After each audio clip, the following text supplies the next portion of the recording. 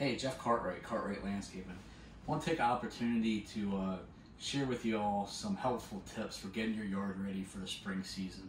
Uh, we've taken the time to put together a bunch of quick clip videos showing uh, a lot of the things that we've learned, a lot of efficiencies, uh, how we do stuff as a landscape company to make things move along and get things looking great.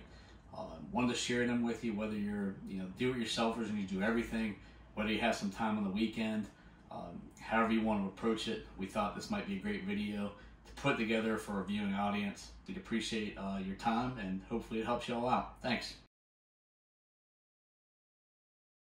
Over here we have a slightly overgrown hedge. You have new growth coming in. This is the ligustrum hedge. And a quick trick with this to get a perfect shape hedge uh, and a perfectly level hedge is use the mortar joints on this brick house behind us. Uh, you can do the same with siding. Just look for the horizontal joints. So that's what we're gonna do here. And then the front, you just kind of, you just wanna kind of shape it up and the side shape it up. But the top, so it looks good from a distance uh, and up close, is we, we come in with, uh, with the hedge trimmer and go right there at the joint. So let's start that and show you exactly what we're gonna do.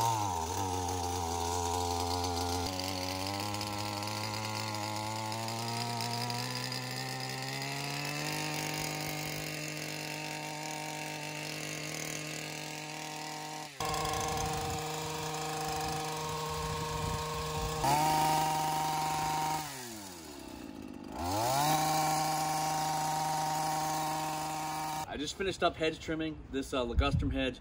You can see pretty flat on top. Uh, we can do a little bit more cleanup on here, but you get the idea. We've used this mortar joint right here is our guideline. You got a pretty straight hedge, looks pretty nice, aesthetically clean. Uh, you got a buffer about a foot in the back so you can get your debris up and so it's easy to maintain going forward. You can get back here relatively easily.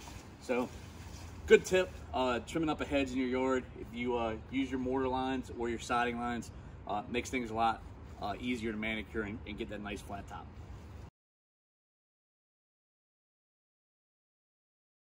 If you have decorative grasses in your yard, just a quick tip on how to address them.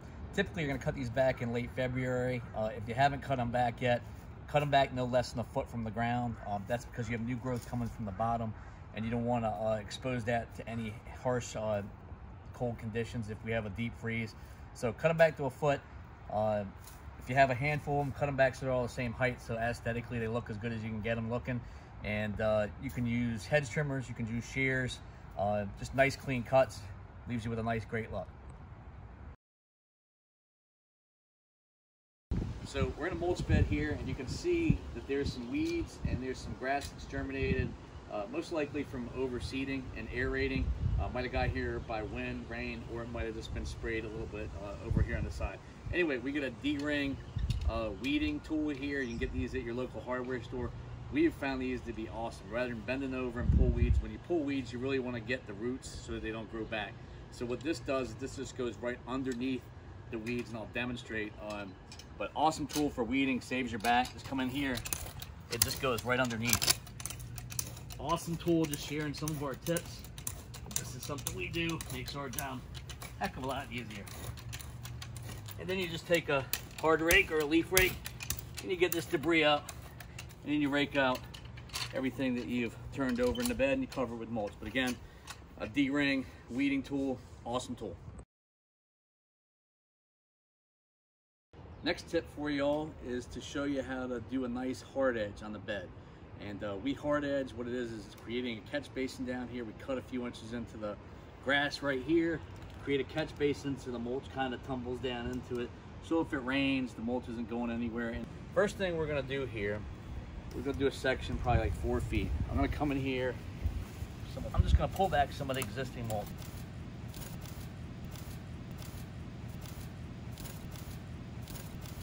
We pulled that mulch back. Then we're gonna come over here. We have some nice spades. These are called Ace of Spades. We get them with our local nursery, Colesville. Heavy, heavy duty. They're awesome. They got some weight to them. You can use a garden hoe too, uh, but if you need any kind of um, you know, landscape equipment, Colesville Nursery up in Ashland's great uh, with their inventory. But what we'll do here, what I like to do is I come in here, just come in, and I like to go on a slight diagonal, and I let the weight of the tool kind of, just, I pull it up and it just falls. You just delicately come along here. You want to have just a nice clean line. Pull this back. So I've done this, and I'm going to come back in and refine it again.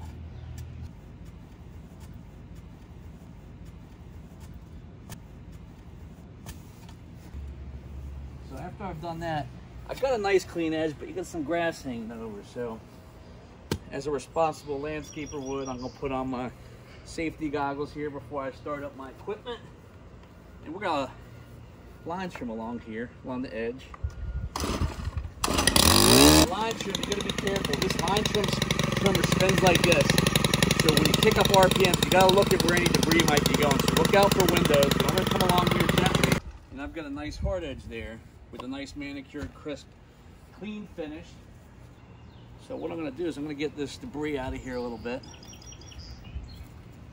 I'll pull this back.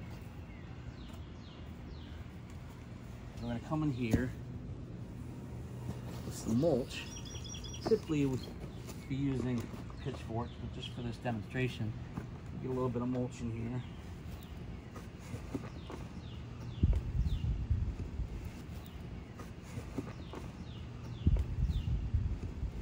nice ground mulch. Kind of come down in here. Could use some of the old mulch. And then what we typically do is come back in with the pitchfork. We refer to this as, to this as contouring. We tap the mulch down.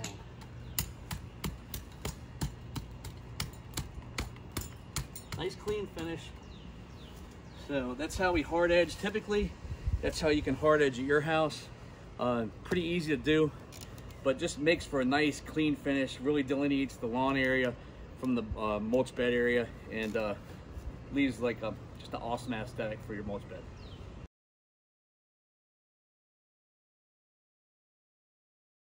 So at your property, there's probably a handful of shrubs that have some new growth um, in early spring. This has some shooters coming off here. Um, you could use a hedge trimmer to get a nice clean cut, but if you do that, these elongated leaves get cut in half. I've, I've ripped one here, and what happens is along the edge here, that'll start to burn, especially as the temperatures get hot. So the better thing to do is use hand pruners, such as these, and the best thing to do is you're coming in, you don't want to come over here and just make a blunt cut and leave like a stick hanging out. You want to go into the plant a little bit and cut. And also what you want to do is you want to cut right above the leaf where the bud is. So if you come in here, you have a little bud right there, right above the stem of the leaf. You want to come in like here and cut on diagonal.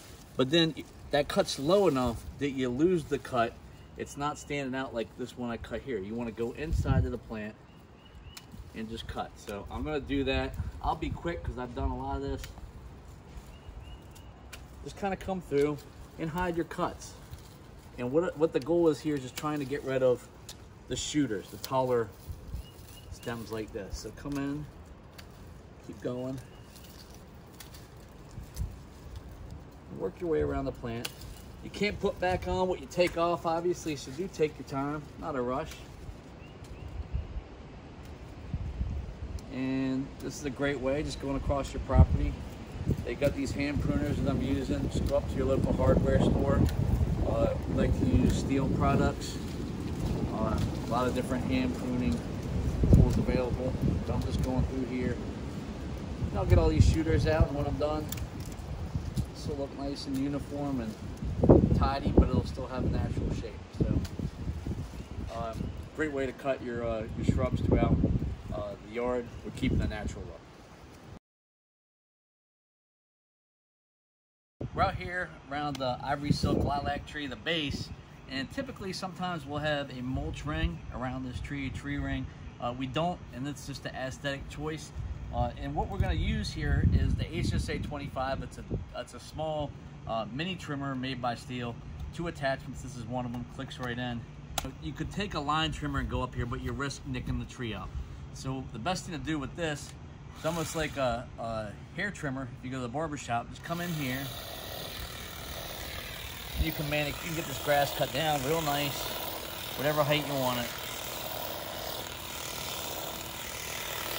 And you give yourself a safety zone, if you will, so that you can bring the lawnmower close enough to this you're not going too low with this. And giving yourself a nice buffer around the tree. Looks nice and manicured.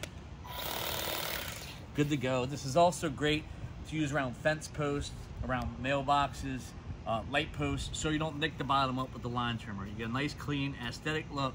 Um, we'll show some other uses of this tool uh, for trimming um, topiaries in the yard uh, and doing some some quick just trimming on your uh, uh, plants that, that really uh, don't need to keep a natural look and might just have a few shooters. So we'll go to that next. Thanks.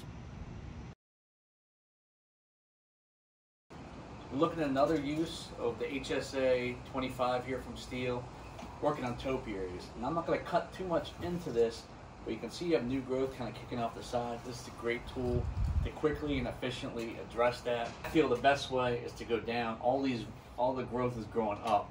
It gives you a better look and perspective too. Nice clean cuts. And I don't want to take too much of this growth off. I'm just getting some of the stuff coming off the side. So rather than doing snip by snip with pruners, this HSA 25 by Stihl, this mini hedge trimmer with these two attachments, really does a great job. And I'm just gently kind of eyeing stuff, figuring out what I want to come off,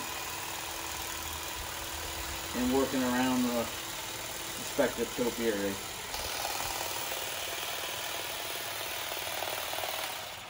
So there's that. And what we're gonna do, we're gonna pop this attachment off and we're gonna add a new attachment and I'll meet you at the next site to show you how to use the other attachment. Showing you another use of the HSA 25. We're here with the longer hedge trimmer attachment this time. Clicks right in. This is a Taylor, uh, a Taylor yew hedge right here. And what we're gonna do is we manicured this over time. It looks pretty good on top. Just a few pieces that are kicking out. So this is a great piece of equipment for this hedge because of the scale. It's a smaller hedge, smaller piece of equipment. You don't want to use an unwieldy big hedge trimmer on this. It's just, you know, this just makes it more efficient. So you can hit the smaller areas. So we're coming in here. And I'll just do a little trimming here.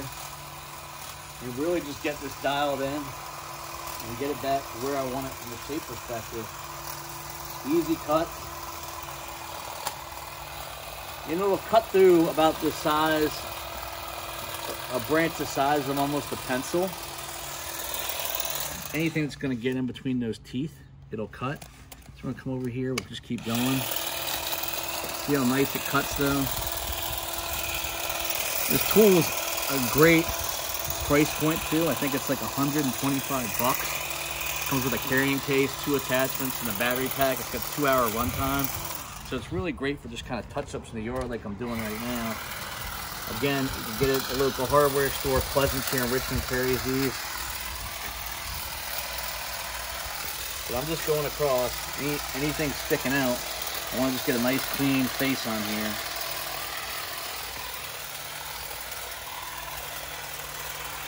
This is kind of sticking out, so I'm going to come in here and get a little bit of that. Not going to hurt anything. But see how this is sticking out here? And we'll test the, the diameter. So you got goes to about that that thickness. So just another quick video here.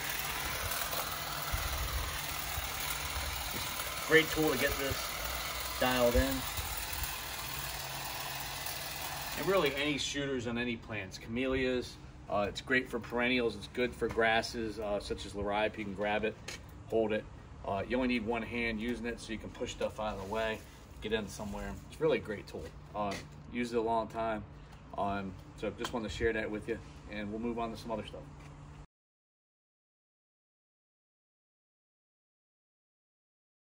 So we're here in a planting garden, and we're going to share with you the proper way to install plantings.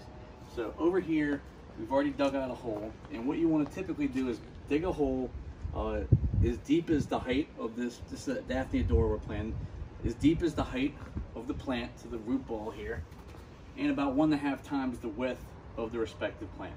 So we've dug the hole. So the first thing I'll do is we've got some good premium topsoil, organic, nutrient-rich compost mix. This is Scotts soil. Top, it's listed topsoil, but the, the texture of this is really a good mixture. It's not hard packing topsoil, it's, it's really a mixture of topsoil and compost. But see that dark, nice soil? perfect. I want to get a little bit of good soil in the bottom. Then I'm going to come over here and get this out of the container. So once we're out of the container, gently lay it down and you want to kind of take your hand and massage these roots. And what this does, it opens these roots up that have been compacted, makes them loose so that once we plant, these roots can easily root into the nice soil, soft, uh, you know, premium topsoil, organic, nutrient-rich compost that we just laid. So we're gonna get this in. So this is going in the corner over here. So first thing I wanna do is step back and I wanna look at this. That's not the right side. You, every plant has the best side. See how it's open right here? So I'm gonna twist this. I'm gonna step back again. And if you're with somebody, it helps, but I like the way that looks. I'm gonna look at it from the left. I'm gonna look at it from the right. I'm actually gonna tweak it just a little bit more. This is all kind of your preference. Step back one last time. Yeah, I like that. Next thing you're gonna notice here is that the top of the root ball is a few inches higher than the existing ground right here. We're gonna add mulch here and maybe some more soil here in time because we're gonna plant bulbs all down the side here.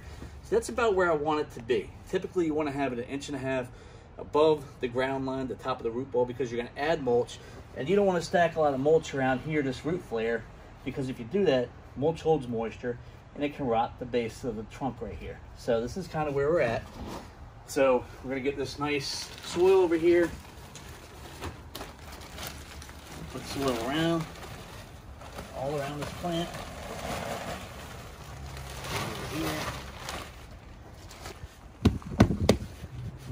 You can massage this a little bit too. Sometimes there's extra soil on top of a plant. So we're gonna come in here like so.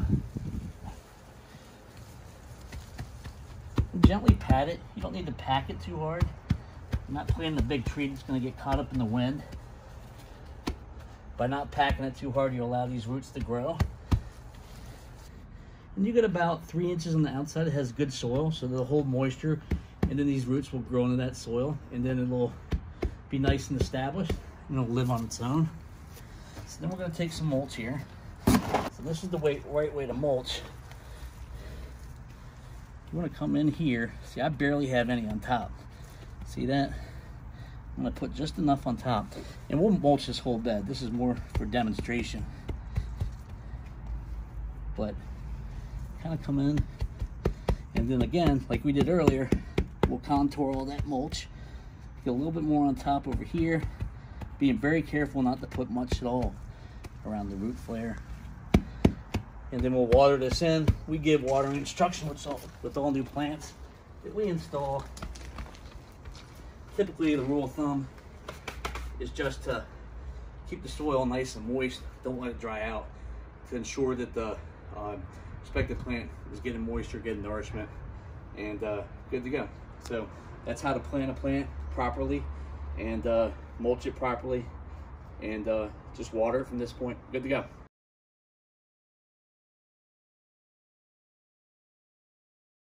Another tip we want to share with you all is uh, the application of Bloom Power uh, fertilizer to your blooming shrubs. Uh, and what we use uh, for that application is Miracle-Gro uh, Flower Food uh, Bloom Booster. And what we do, there's directions inside. We mix it accordingly in our rain can here. And we have gardenias here, um, crown jewel gardenias. We have blooming pears, and then we have some roses over here, which we're going to install in this cutting garden and some jasmine. So all this is going to get an application. Uh, we've measured accordingly. Again, Miracle-Gro. Uh, you can buy this at your local store. So we're just going to come through and give every one of these guys a little bit. And the application instructions are on the respective bag as to how much and how often you do this. We're just giving all these guys just a little bit of food we can have some nice profuse blooms here in the next month or two. these last guys. And